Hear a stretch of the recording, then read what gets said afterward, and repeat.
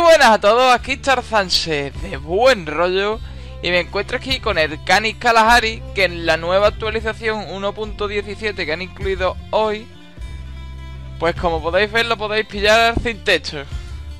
Sí chicos, aparte de los coses que han puesto de las dos motos y el cose han puesto el Canis Kalahari sin techo. Ya está, ya no han puesto más cosas, ni más tonterías, ni nada. Solo esto.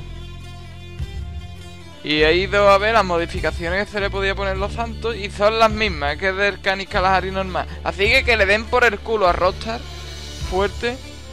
Y nada, aquí os dejo con el resto del vídeo. Espero que os haya gustado.